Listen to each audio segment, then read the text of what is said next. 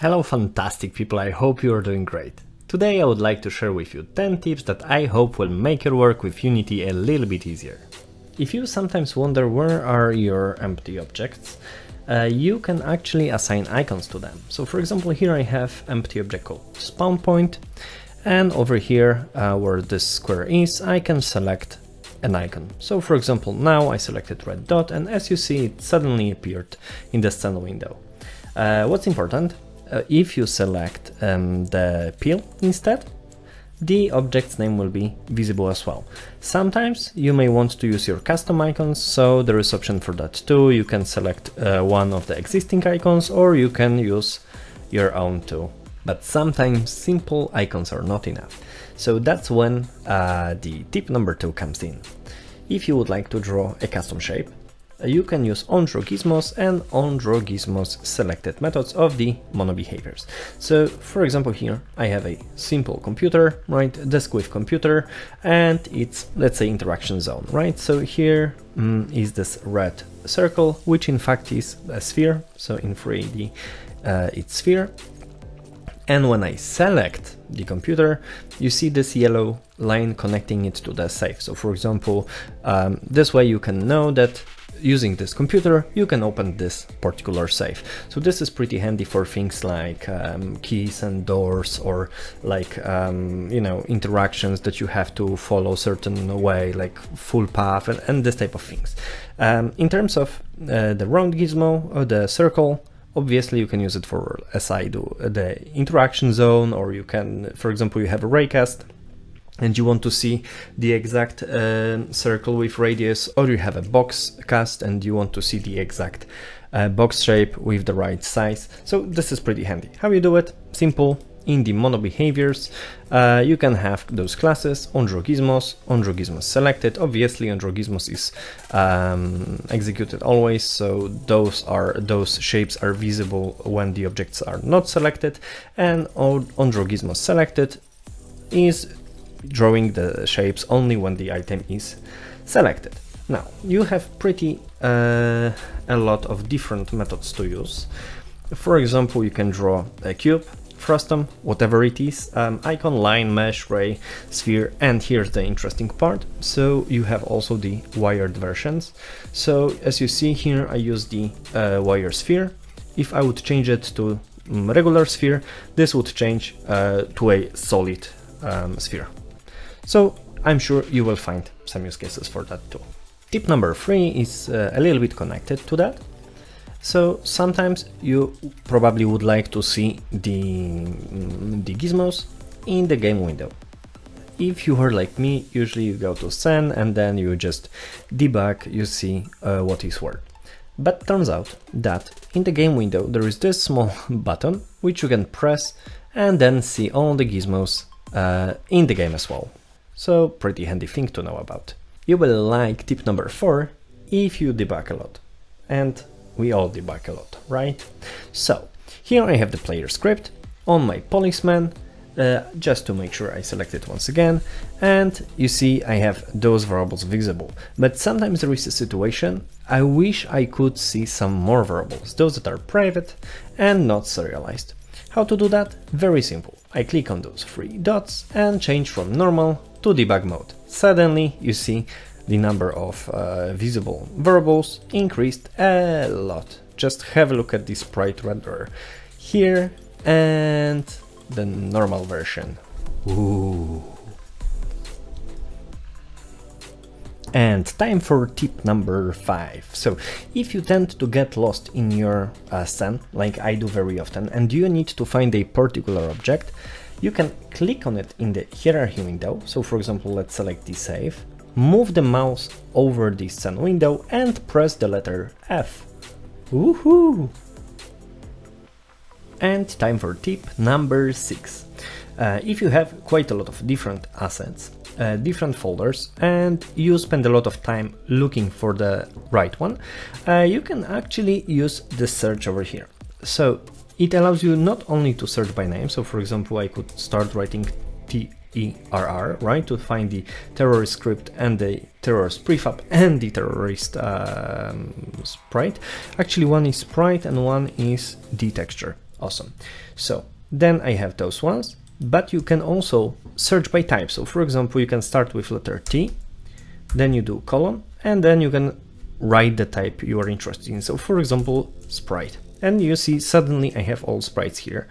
Then I can uh, press space and type any text I want. So for example, police. And you see suddenly I have um, all the sprites that contain the word police in their name.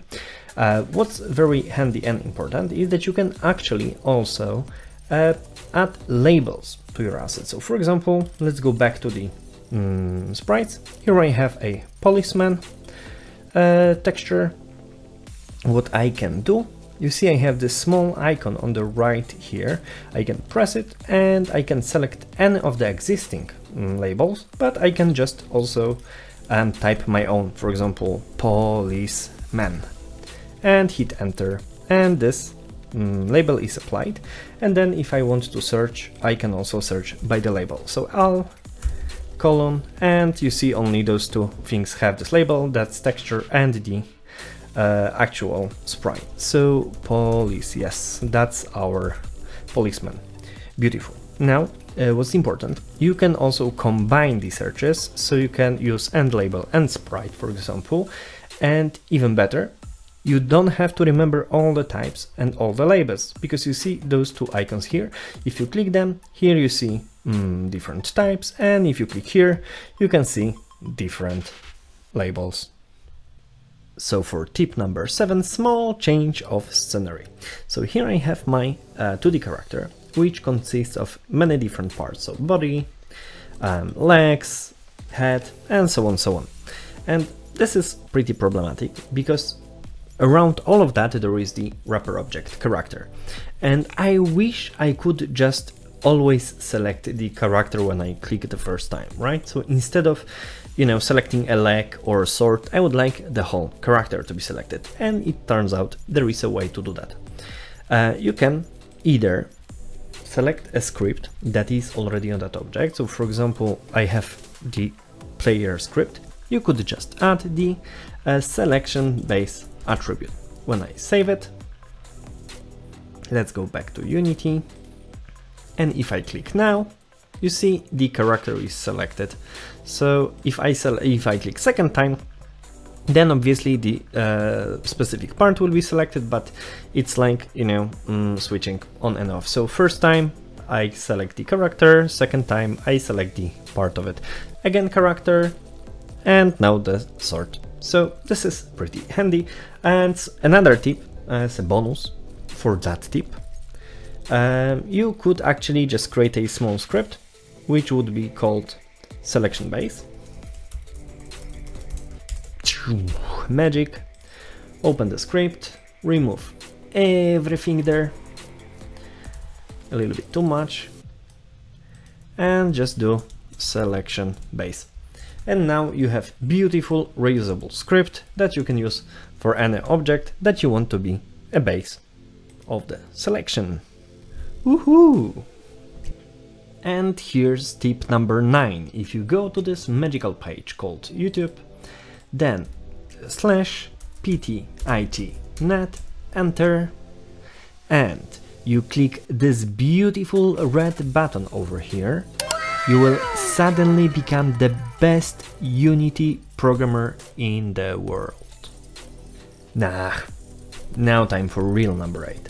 So here I have a simple scene from one of my tutorials and here on the left in the hierarchy I have quite a lot of different game objects.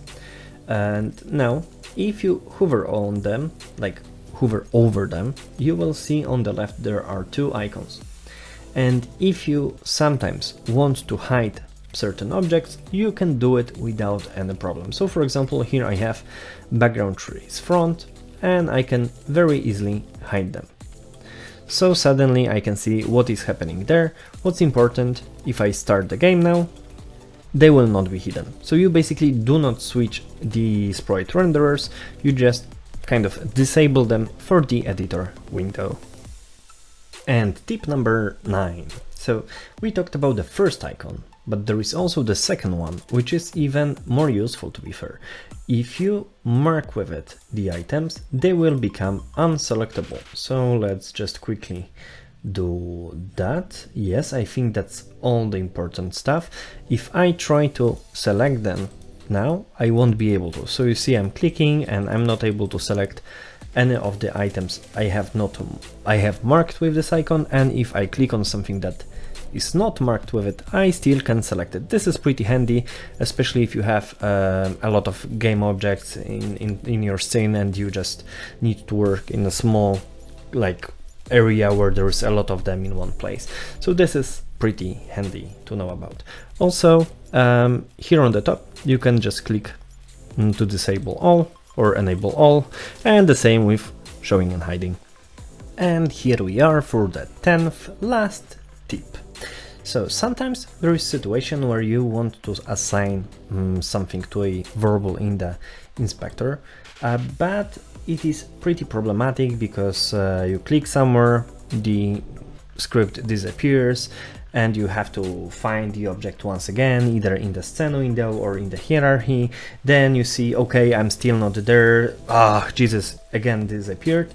So it turns out you can actually lock the inspector. There is this small lock icon, and if you click it, then whatever you select basically will not matter because the inspector will stay on the locked object. Now this is pretty handy, but what is even more handy, you can have more than one inspector and to do that you simply just click on the other object in the um, hierarchy, click right button and somewhere there there is this magical option called properties and suddenly we have the character properties and the angry block properties and we can easily drag um, things from one screen to the other. I hope you learned something interesting and useful. And if you have any other tips or comments, just please drop a comment below. Um, if there will be enough tips, I will gather them together and create another video, of course mentioning all of you.